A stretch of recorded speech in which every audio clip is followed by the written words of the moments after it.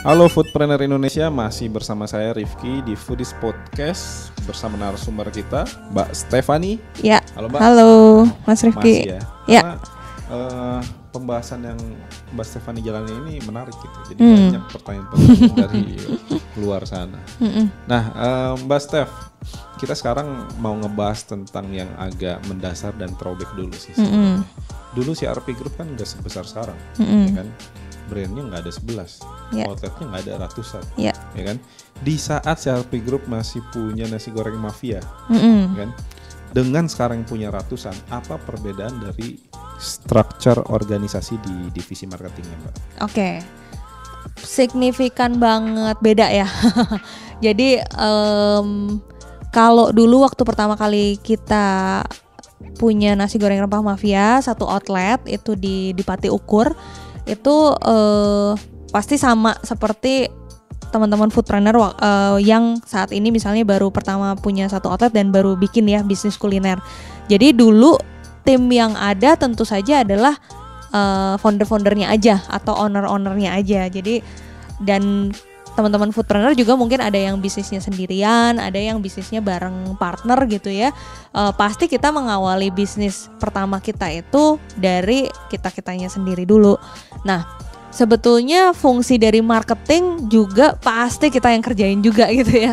Biasanya ya sangat umum lah kalau misalnya kita foundernya, kita pendirinya, kita ownernya ya dari awal kita kerjain semua. Jadi semua fungsi organisasi udah pasti ya dikerjain sama owner-ownernya lah ya. Jadi dari mulai marketing, kemudian operation, finance, ngurusin legal gitu ya, ngurusin Masak. masak tentu saja, belanja, beli minyak segala macam itu semuanya eh, kita lakuin.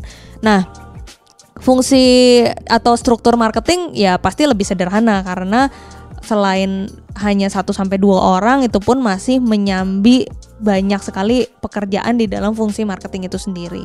Nah, setelah kita punya satu outlet, kemudian kita eh, punya eh, berkembang ya cabangnya, kemudian dua, kemudian tiga, kemudian kita punya mitra juga, kemudian kita bikin brand baru lagi segala macam, itu udah pasti tidak bisa dikerjakan hanya dari tim yang awal karena tentu pasti pekerjaannya semakin banyak, kemudian target-target kerjanya pun semakin harus eh, semakin lebih cepat gitu karena kan itu berhubungan dengan perkembangan dan performance dari eh, setiap outlet yang bertambah. Jadi pertambahan strukturnya ini bertahap. Jadi dari awal misalnya cuma ada 1 sampai dua orang kemudian pada saat kita punya tiga cabang, punya empat cabang itu berkembang jadi lima orang, kemudian berkembang jadi tujuh orang dan sampai sekarang itu total di tim marketing ada sekitar 120 orang gitu. 120. 120. Banyak banget, Tapi ya. itu pekerjaannya juga banyak banget. banyak banget ya.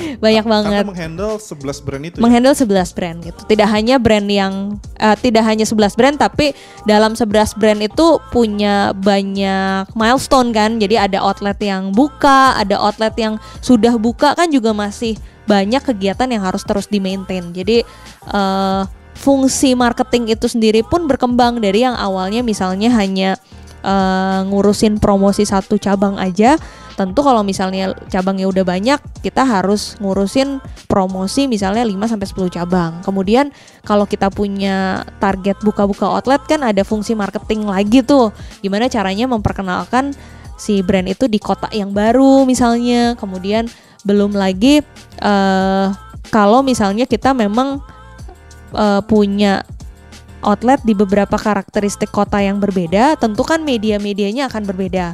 Nggak selalu media yang satu nih works di eh, media yang satu nih works di satu kota, belum tentu works juga di kota yang lain. Jadi sekarang fungsi dari struktur marketing ini berkembang. Jadi tidak hanya ada orang yang handle media online, kita juga ada tim yang handle media offline, kita juga ada tim yang melakukan kegiatan public relation misalnya. Jadi KPI mereka adalah sebanyak mungkin mencari network eh, karena dengan melalui network itu kita semakin banyak diliput ya, kita bisa masuk TV tanpa biaya, kemudian kita bisa masuk eh, koran, kita bisa masuk media-media yang juga cukup besar melalui aktivitas networking itu. Jadi macam-macam fungsi yang sekarang ada di struktur marketingnya eh, CRP. Oke, Foodpreneur Indonesia ada 120 karyawan ini baru di divisi marketing aja. Baru di marketing belum aja. divisi lain. Oke, Ya. belum, belum karyawan outlet. Belum karyawan Belum outlet. karyawan outlet. Oke, mantap. Nah, tapi gini, Mbak. Dari semua yang sudah eh, Mbak Steph jelaskan ini, Mm-mm. simpel aja sih. Ya. Pertanyaan berikut saya. Kapan kita harus membangun sebanyak itu kapan, Mbak Steph? Oke, ya. Eh tentu saja jangan sampai terjebak dengan nambahin orang terlalu banyak di awal ya. Yes. Eh, karena penambahan tim tidak hanya di marketing ataupun di divisi lain ini juga harus seimbang dengan kemampuan perusahaan. Karena menambah orang itu jebakan maut banget gitu ya karena itu udah berhubungan dengan operation expense ya. Iya. Kita udah nambah orang itu akan kita sangat sulit sekali untuk mengurangi expense gitu. Jadi harus hati-hati sekali. Dalam hal menambah tim ini juga banyak strateginya dan ini kita implementasi juga. Jadi di awal eh, itu biasanya fungsi-fungsi yang utama itu hanya yang kita putuskan untuk ada eh, karyawan full time-nya. Jadi contoh nih misalnya dulu kita lihat kalau social media ini kan salah satu fungsi strategis menurut kita karena kita berpromosi hanya melalui sosial media. Jadi kita mm, waktu itu karena eh, social media ini salah satu media yang paling signifikan, jadi kita memang spend budgetnya hanya di sosial media aja. Jadi karena ini strategis, kita hire orang yang full time untuk ngerjain sosial media. Tapi waktu itu karena eh, desain itu kita lihat masih bisa menggunakan freelancer. Jadi beberapa desain awal tuh kita gunakan freelancer. Jadi freelancer ini merupakan salah satu strategi nih kalau misalnya kita belum bisa atau kemampuan financialnya belum bisa nambah orang secara full time. Jadi kita uh, outsource dulu, kita uh, freelance dulu atau tenaga magang dulu itu juga bisa jadi strategi.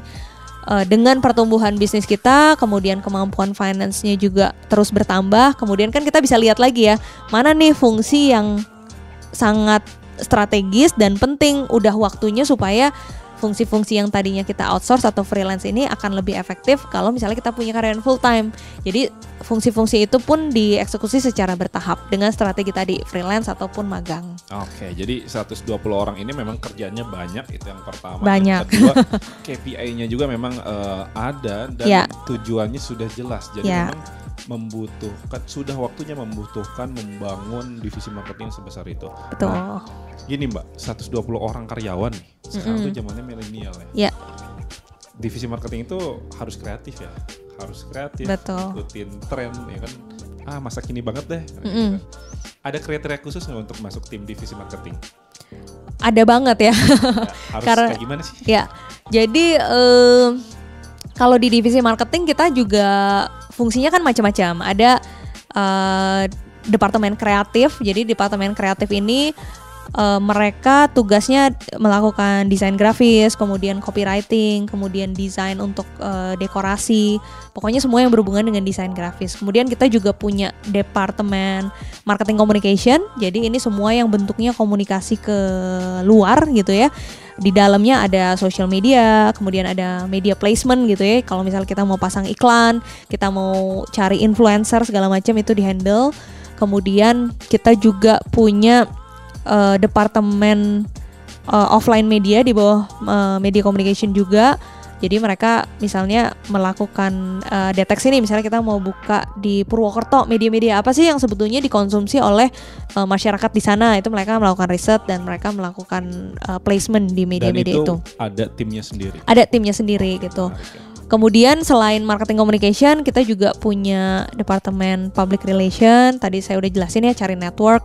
Kita juga punya departemen business partnership. Jadi ini secara spesifik mereka mencari mitra karena kita punya target misalnya tahun depan nih kita pengen buka sejumlah outlet eh, di kota-kota ini ini ini. Nah, tugas mereka tuh mencari mitra lokal Business development. Business development Oke. betul. Mereka mencari mitra sehingga misalnya nanti ada orang nih yang mau buka abnormal di Medan misalnya. Nah, mereka memproses, mengimplementasi standarisasinya sampai outletnya buka dan kita juga ada tim yang menghandle pada saat mitranya ini sudah buka. Jadi kita memastikan sustainability bisnis mereka uh, berlangsung terus-menerus. Jadi fungsi dari departemen-departemen yang ada di dalam marketing itu juga sebetulnya punya karakteristik yang beda-beda.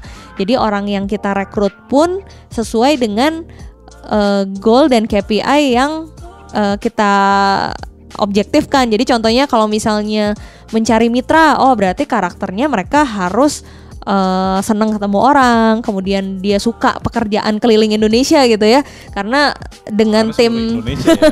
betul dengan tim kemitraan ini mungkin saya bisa ketemu mereka tiga bulan sekali gitu karena mereka keliling Indonesia terus. Kemudian eh, misalnya di tim desain ya tentu kita harus cari orang yang punya pengalaman dan kompeten untuk eh, membuat desain-desain grafis, kemudian desain-desain interior, dekorasi dan segala macam. Jadi beda-beda karakteristik walaupun sebagian besar rentang usia sekarang dari tim kita memang di milenial dan Gen Z. Jadi memang cukup muda-muda secara usia dan eh, kita coba akomodir satu culture dan tempat kerja yang memang sesuai dengan usia mereka gitu. Nah, ini Mbak Stefani tim memimpin 120 orang ini hmm, pasti dengan treatment khusus nih, apalagi menghadapi eh, jiwa-jiwa dede-dede Jiwa muda. ya, jiwa dede-dede ya, milenial gitu ya, kayak kita ya.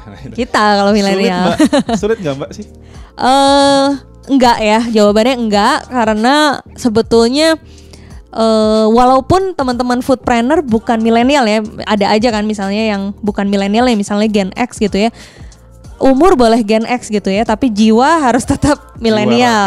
Ya. Ataupun nanti pada saat kalau sekarang concern kita justru bukan di milenial tapi kita sangat-sangat concern untuk mempelajari Gen Z itu sendiri karena Gen Z ini dalam waktu lima tahun akan sangat besar sekali influencingnya. Jadi eh ya usia sama usia tapi cara berpikir kita harus terus sesuai dengan eh, generasi yang memang akan menjadi influencer di masyarakat. Jadi kita banyak sih implementasi misalnya contoh di kantor itu kita menerapkan eh, open space. Jadi kita tidak pakai cubicle sampai level direktur pun kita duduk di floor yang sama Berbarengan ya. berbarengan eh, betul-betul open. Jadi mereka mau nyamperin kita kapan aja tuh nggak perlu ketok pintu ya orang nggak ada pintunya gitu. Jadi eh, betul-betul open space. Kemudian juga kita punya eh, apa power nap corner gitu ya. Jadi kalau misalnya siang-siang ngantuk tuh boleh tidur. Jadi kita punya bean bag, mereka boleh tidur. Ada ya. Ya karena kita tahu bahwa power nap tuh penting gitu. Betul, betul. 10 menit tidur tuh otak udah langsung eh, kinclong lagi gitu ya. Jadi banyak lah implementasi-implementasi terus mereka juga eh, kita nggak punya dress code tertentu ya. They can be their selves gitu.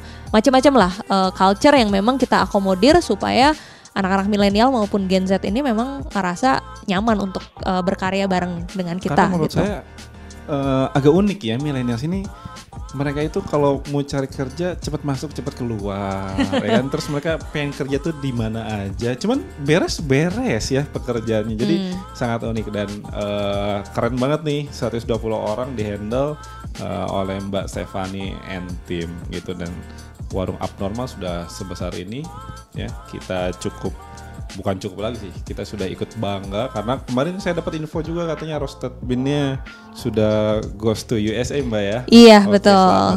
Terima kasih. tim. Ya. Oke teman-teman eh, kita sudah membahas banyak nih ada branding ada membangun outlet ada organisasi struktur nanti kita akan bertemu lagi dengan Stefani Kurniadi mungkin dengan eh, materi-materinya yang lebih menarik lagi oke nanti kita stay tune terus di Foodies Podcast